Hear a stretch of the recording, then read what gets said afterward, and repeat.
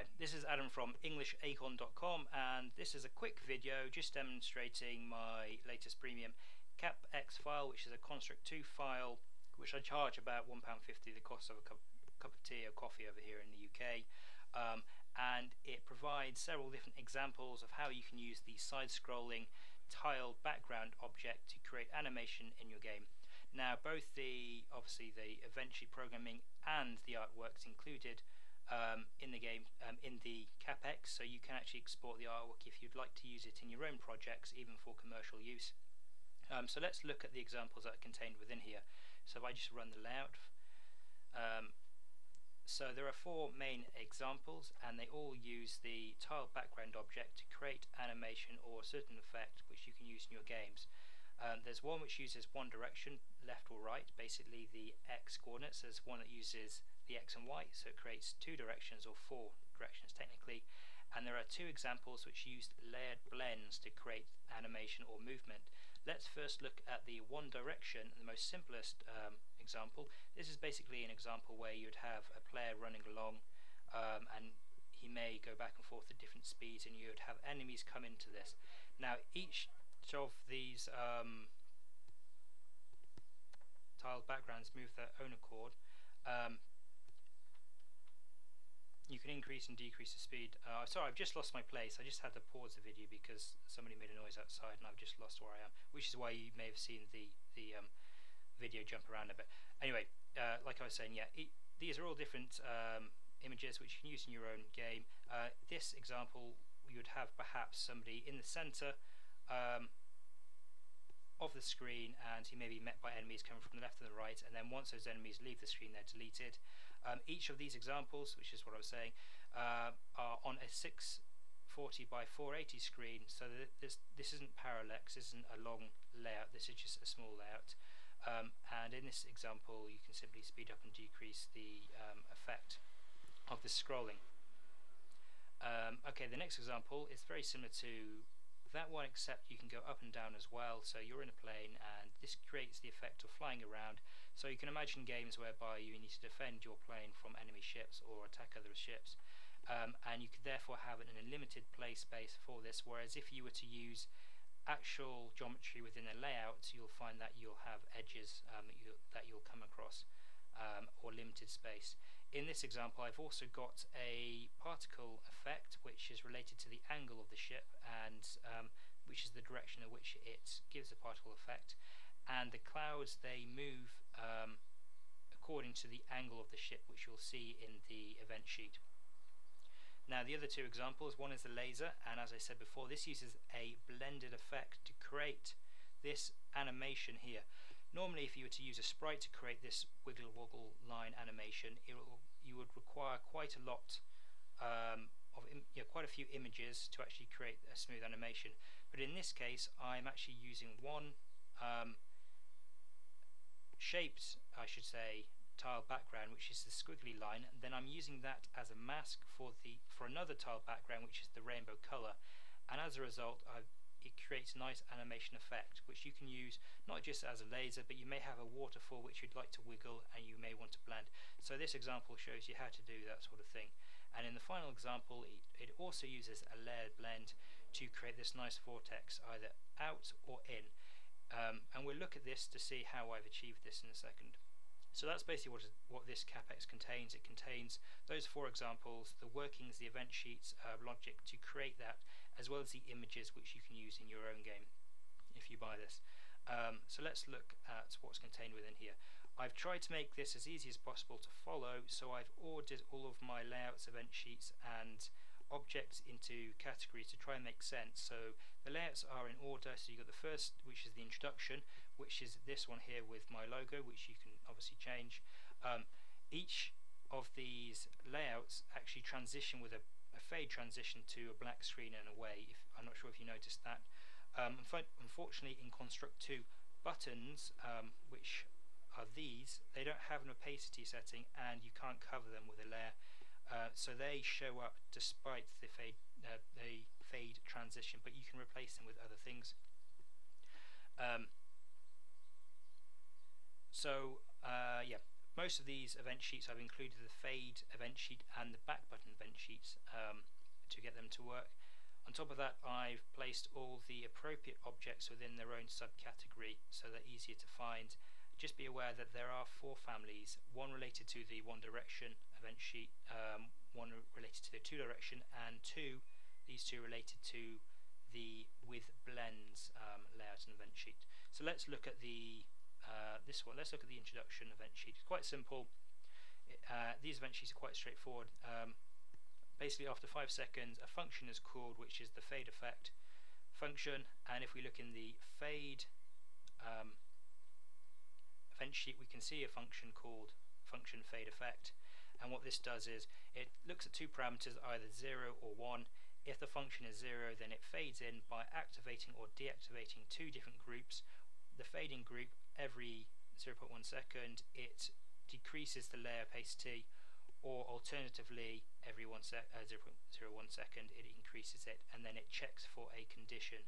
Now you can actually change that time period to something else if you want um, which I had originally but I changed it to that um, and then fade out, once the condition is met, it calls a function, which is the next layer function, which takes a parameter, um, sorry, which sets the parameter, which is the next layout as well, and it goes to the next layout.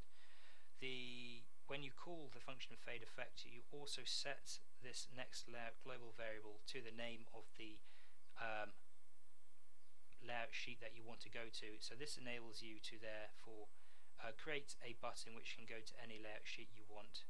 Um, so let's look at the menu um, event sheet. So this is quite simple. Basically, this is just navigation. Uh, when you click any of these buttons here, um, then the fade effect function is called. The parameter, first parameter one tells it to fade out, and the second one tells um, the program which layout you want to go to, and then you go to that layout. So let's look at the next layout, which is the one direction layout. So this is comprised of several different um, tiled um, backgrounds. All most of these are have a width of 256. Some of them have varying height, um, and these are positioned on screen at certain heights. Then, once the um, layout is started, they're positioned and their widths are set to the appropriate width. They're also included in a group, tiled um, backgrounds. Oops, I put the GB there. But they're they're set in the family, and then the compute uh, then the construct 2 acts upon that family.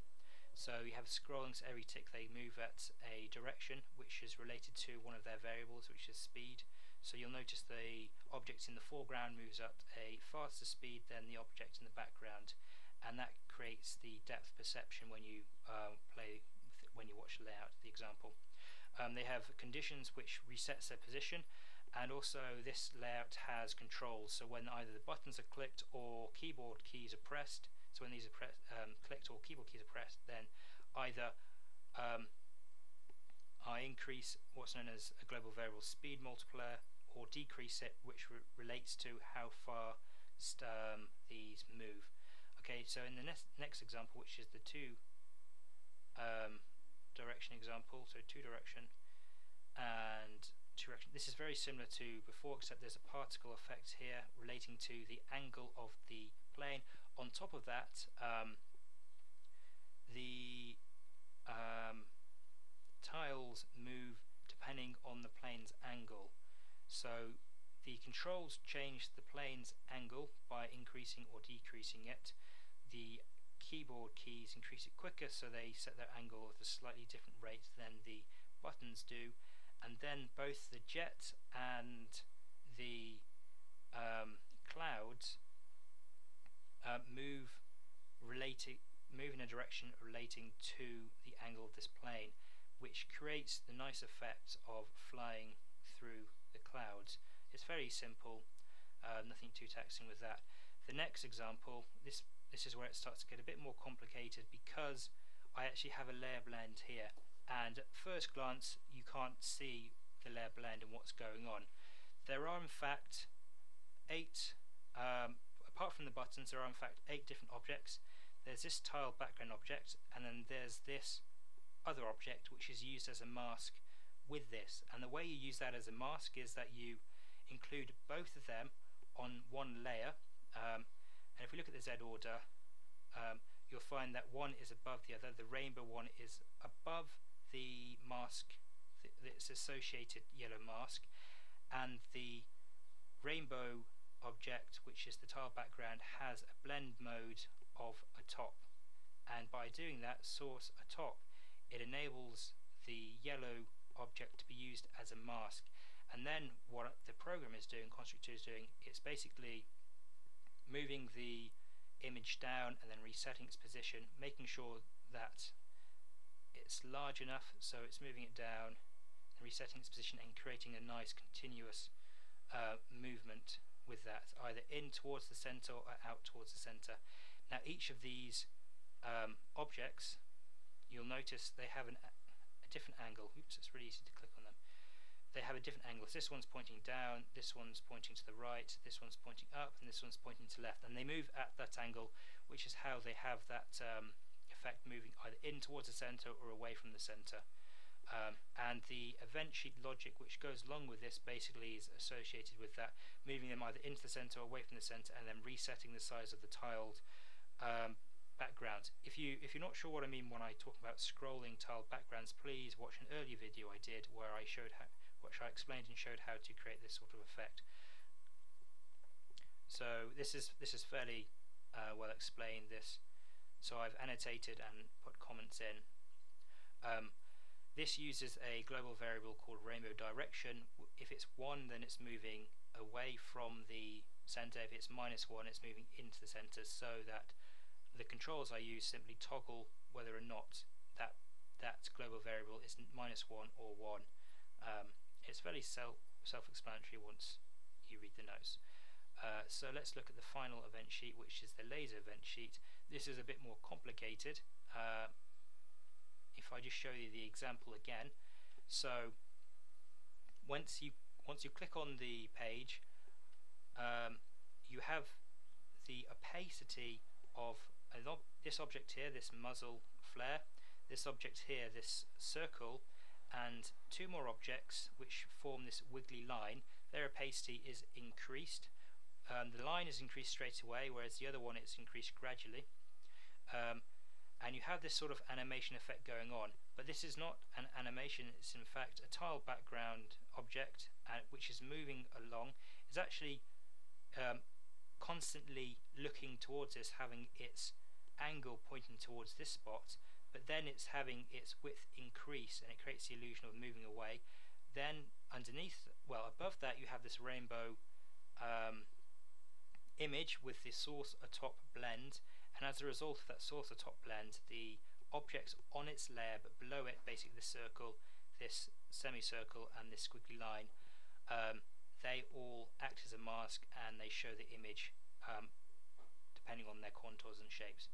So that's the basics of how it's done. If you look inside the uh, event sheet logic, you may come across something, some quite complicated maths. If you're not familiar with trigonometry, then it may appear as quite complicated because I use both the sine and the cos um, elements to get the positioning of this.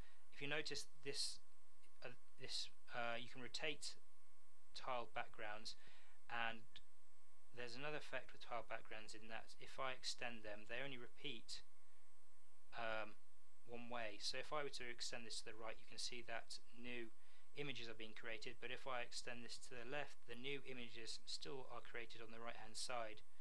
So with this I couldn't have this positioned at the laser um, head and then extend away because otherwise you had to have a static image.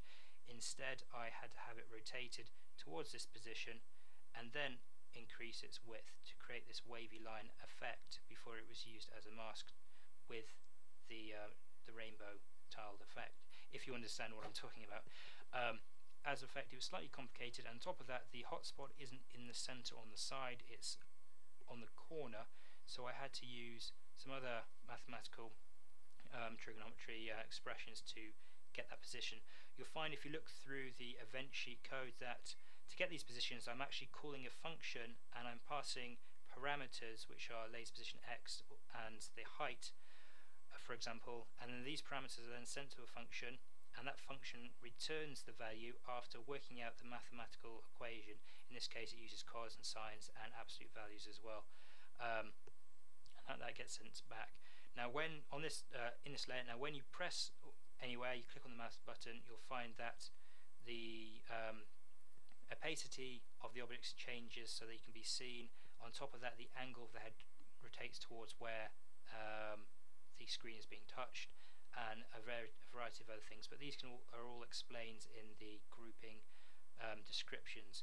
Anyway that's a brief overview of that Capx. Like I say it's available from my site for about £1.50 which is about the cost of a small coffee or something here in the UK um, because it takes a long time for me to create both the artwork and as well as create the comments and the annotations and program these um, that's the reason why I'm putting a price on these rather than just releasing them for free. Whereas I have explained in other videos how to create the effect and they I will produce a free Capx file for those videos. Um, if you like this video please click like, uh, please visit my website englishacorn.com, um, please visit my Facebook page as well and if you have any comments or queries please leave a message in the YouTube comment section below or send me an email. Thank you very much for watching this video.